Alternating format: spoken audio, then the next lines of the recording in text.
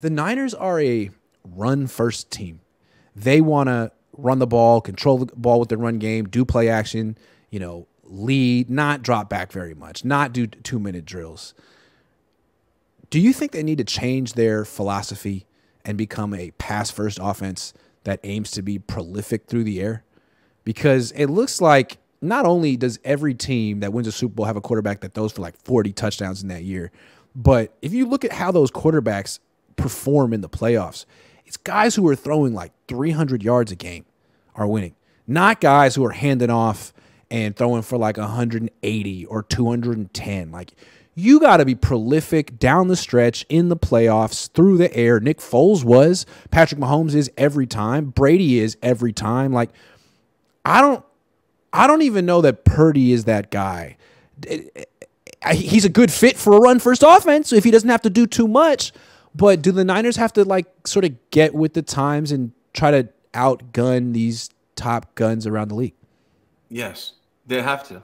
I, they just have to, man. I, I've been saying it for a long time. I still believe it. I don't even know if any of the quarterbacks on this roster are capable of it.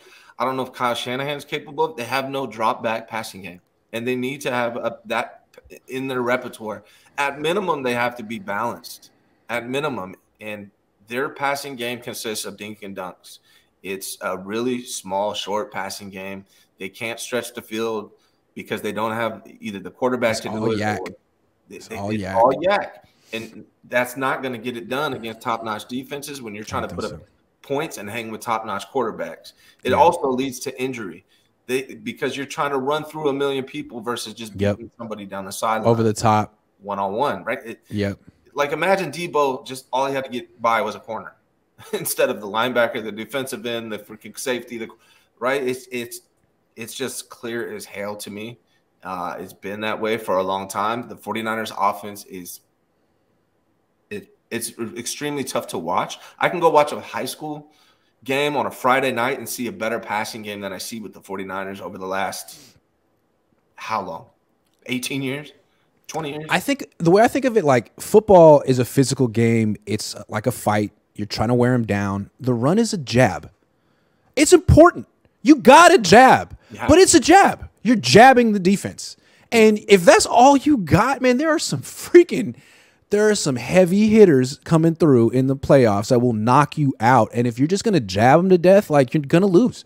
Yeah. So you have to have that knockout punch, you know, that left hook, the right cross, the uppercut, whatever it is, and the Niners don't. They're just they just jab you to death. So I, I mean, look at look at the Rams, okay? The Rams had the same offensive philosophy. Sean McVay learned under Mike Shanahan and Kyle Shanahan. They ran the ball a lot. They went to the Super Bowl with um, Todd Gurley and Jared Goff and scored three points. Then they just rebuilt their entire offensive philosophy, brought in Matt Stafford. I mean, their running game was awful. Yeah. They used it just as a jab to keep you honest, but all of a sudden they were prolific, a, a pass first team, yeah. throwing the ball all over the yard, winning a Super Bowl. Yeah. It worked for Sean. It might work for Kyle. And it seems like Kyle was going that direction. You, you, bring in Christian McCaffrey. He's he's a better receiver than a running back, and he's good at both. But he's a better. He's super special as a receiver. Yeah. Like go for it. But that means you actually need to improve your offensive line a little bit. It, it felt like they were trying to go that direction towards the end of the season, and yeah. you noticed that's when they started scoring a lot more points. But what they, yeah. they still didn't have a deep threat there was still no chance that they're going to go deep on you outside of maybe right. a steam for Kittle at like 20, 25 yards. That was basically their deep threat all year right. last year. They did start to pass more, but they still don't have the quarterback yet. Maybe it's Trey Lance. I don't know. Maybe it's Darnold. Darnold has actually a really good arm, but Brock Purdy is not throwing deep. And is he going to be able to throw deep off a UCL injury? And it's not about just throwing deep. It's about throwing hard into tight windows um, it's about the threat of the deep shot, right? You don't have to. It's like what they should do with Trey Lance. They're running Trey Lance as the main feature running back. I'm not saying throw the ball deep a million times a game, but you have to be able to do it, or they're not going to respect it. And they're not balanced in regards to that. It's either run game or it's a screen passing game. Uh, that's all it is, and it's not. It's yeah. not. Yeah, and it's like they're they're built to run the ball and to do play action, but it seems like with defense, the way defenses have evolved to stop the Kyle Shanahan offense, because the Kyle Shanahan offense is like, it's what most, it's like 30% of the league, right? And everyone knows they want you to they're a run first team. You got you got it. You know, they want you to commit to the run so they can hit you with the play action pass. So what do teams do now? They play two deep safeties. Yeah. They're like they invite you to run the ball. They don't care if you run the ball. Yeah. They're like, you know, if even if you're averaging 5 yards a carry, we're going to play two deep safeties because we want you to go 10, 11, 12 play drives. Yeah. And if we can just take away, because if we commit, if we overcommit to stop the run, then you hit us over the top and you get the explosive play, and that's what you want. If we force you to do an 11, 12 play drive, you're only going to execute that twice a game, maybe. And now, if you have Tom Brady in his prime, you could do it a lot. But really, you're probably not going to execute that. There's going to be a penalty. There's going to be a turnover. It's hard to do. Look so it's like, go ahead, man. Like, go ahead and do play action. Like, we're not giving you the chunk play. So, like, what are you really accomplishing by getting under center and turning your back and taking it, it's long, it's slow developing play. Haason Reddick isn't even reacting to the the, the play fake.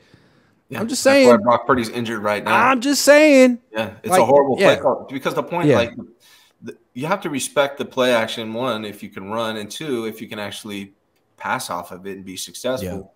Yeah. And, and run game. Fine. But if if defenses are going to say, "Dude, we're, we're, not we're playing too deep, and we're not going to react to that, and we don't care, like we want you to run yeah. the ball," then I don't know what what advantage you're creating. I'm not saying just take away play action entirely, but yeah. it seems like defenses are kind of neutralizing its effect a little bit, and maybe you need to find another way to attack off. Like Philadelphia, drink Philly's offense is not necessarily explosive. Like they don't do a lot of uh, play action. What they do is the RPO stuff, which just puts it just puts one defender in conflict. It puts one defender in a in a position where he has to defend two things, and you read him and you and you play off that. That's easy, and that's not getting you twenty yards. It's getting you ten, maybe yeah. seven, yeah. and you just stay steadily ahead of the chains. That's all Philly ever does. That's all they do. They take a couple shots here and there down the sideline. That's it. And this is why I'm. This is why I keep people think I'm a, like a Trey Lance stan, and it's it's it's actually ridiculous. If you really know me, I don't have a I don't have a single 49ers jersey. I don't fanboy out on any of these players.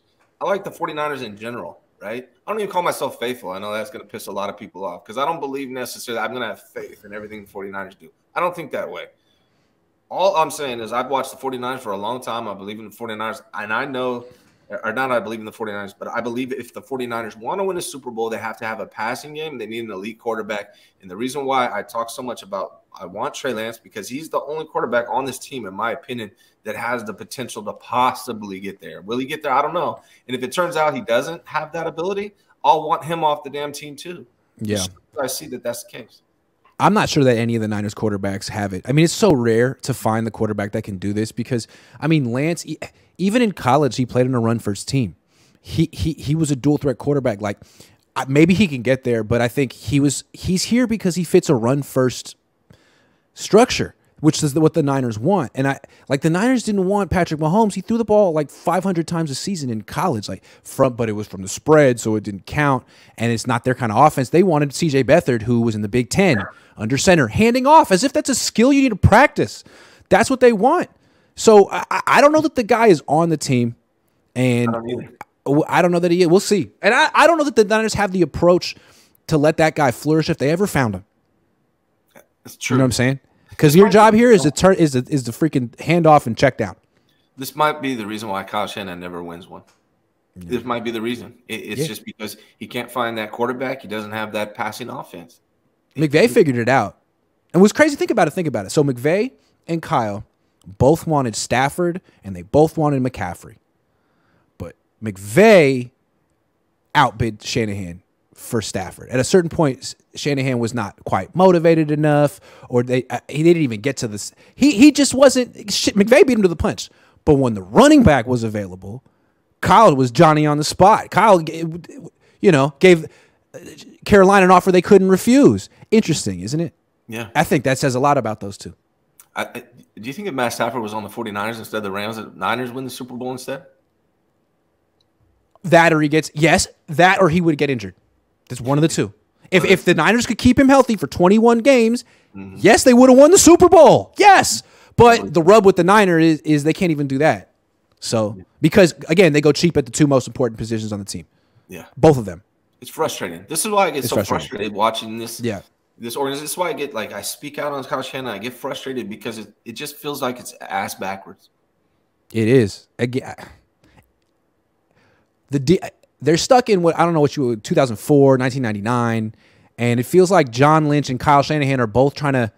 John's trying to prove that you can still build a champion the way his championship team was built. Yep. And Kyle's trying to prove that you can still build a champion the way his dad's championship team was built. That's the way I feel about the 49ers. Yep. And they have this cool team that's physical and they grind teams uh, opponents down and the next week the, the, the team they play doesn't win because it's so such a bruising fight, but it's like that's all participation trophy bullshit. Did you win the Super Bowl? No. Do you have a Super Bowl winning formula? Apparently not. But you I mean, stick to it. Right now, let's be honest. Right now, Trey Lance, Brock Purdy, Sam Darnold. Are those Super Bowl winning quarterbacks? No. No, they're not. And they call themselves a win now team, but they're not serious. And then you talk about right tackle. We're going to talk about two. It's either going to be Colton McKivitz or Nick Zakelj. Like, man, I mean, you're really hoping Chris Foerster works magic there. Yeah. Fifth round pick, sixth, sixth round pick with traits. Cool. All right. Well, yeah. you know, maybe. If, if, if they're going to trade Trey Lance, they need to get, get a starting right tackle. Otherwise, I hope they don't trade Trey Lance. I think they're not going to trade Trey Lance. I think it would be stupid. But if they do, they better walk away with that. Lucky Luciano says, "Is it me or does Purdy remind anyone of Shaun Hill?" Sorry, same number. Purdy's a better athlete than Shaun Hill, but yeah, same same arm. He reminds me of Tua. Ah, I can see that. I can see that. Oh, Tua with confidence. Tua was so lacking confidence against yeah. the Niners. I couldn't believe it. Though, at the beginning of the season. Yeah, oh, yeah. It's true. Yeah. Ricardo, thank you. Randy, um, to avoid worst trade of all time is to not trade Lance. If he's a bust, then hold on to him on his rookie contract. That's that is the best way to avoid to avoid the worst trade of all time, unless the first one was. Lamonte seven fifty seven says, "Do you think we will trade Trey Lance for Malik Willis? Watch his highlights and seems like Kyle would like him. He can make the easy throws Lance can't make yet. Plus, he has more experience than Trey Lance." Malik Willis. I don't see him liking Malik. I don't see him liking Malik Willis. No, I, I don't see it. I would see him just drafting a quarterback in this draft. Um, because if you're trading Trey Lance, Malik Willis is in a similar vein. The weirdest thing about the Trey Lance pick is that all Kyle Shanahan really wants is somebody that can run his offense, get the ball out quick. That's it. That's all they want. Someone who's good enough. Yeah, so he should be looking at someone who's one of the best quarterbacks in the league, but that's not what he's needs. That doesn't even make sense why they drafted him. Honestly, it doesn't even line up with what. No, like. you just need a guy who's like instantly ready because Kyle doesn't want to develop. You know what I mean? Want, they don't need a big arm. They just need to be able to dink and dunk, run screen. True. You, you uh, your offense goes through your running back, not your quarterback. Yeah. Because every play is either a handoff or a fake handoff. Yep.